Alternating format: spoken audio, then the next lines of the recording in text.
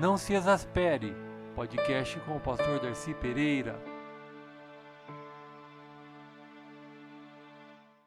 Bom dia, graça e paz. Deus te abençoe.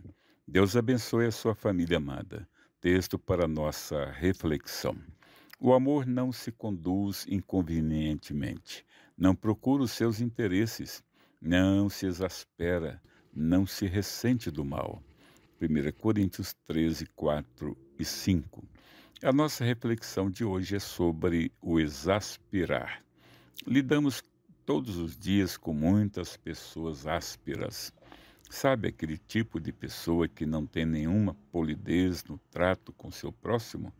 Trata a outra pessoa com palavras duras, trata as outras pessoas com rispidez? É o tipo de pessoa que não mede as suas palavras. Não estão nem aí se o que dizem machuca os outros.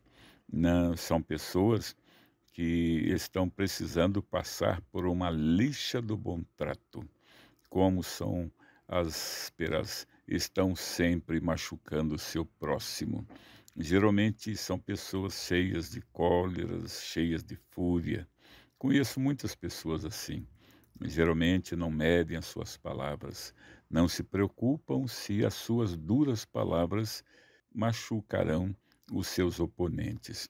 Falta-lhes naturalmente o amor, pois o amor não se exaspera ele é como freio.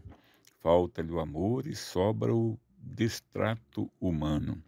São pessoas que não aprenderam a amar, portanto, não sabem exercitar senão palavras e atitudes que machucam. Apetecem-se de boas maneiras, necessitam, sim. A palavra de Deus orienta-nos a falarmos a verdade em amor. Efésios 4,15. Afinal, o amor é o calibrador das nossas emoções. Portanto, não devemos permitir que os nossos sentimentos ditem as nossas palavras, as nossas ações.